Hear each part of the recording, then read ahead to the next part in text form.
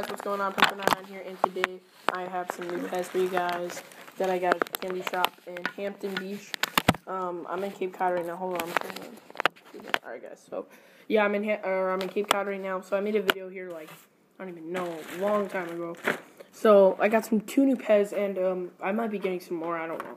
It, it depends if we go to, like, a thrift store, store, and we find some for really good price, that'd be awesome, but, um...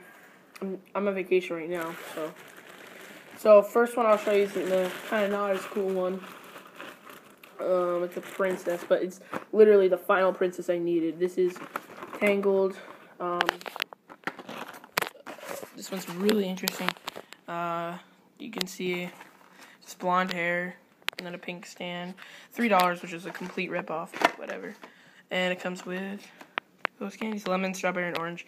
So yeah, this completes my set actually, and uh, I gave this one to Josh like two years ago, but yeah, he's done with Pez, so I'm really glad I got this one back, and it's completed my set, so that's really awesome. I was like, super excited when I found that one. Also, it's the bag. you got that Sweet Hannah's, Sweet Hannah's. I, I guess, I guess, I don't know. Um, and the last one is like super rare. I, I don't know if it's rare or anything, but it's just super random. Like I've never seen this Pez before, and neither has my dad or anybody.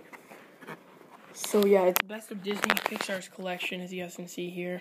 And it has a green stand, and it's like a cat with like glasses, and it has the cat has green eyes, and it's kind of random.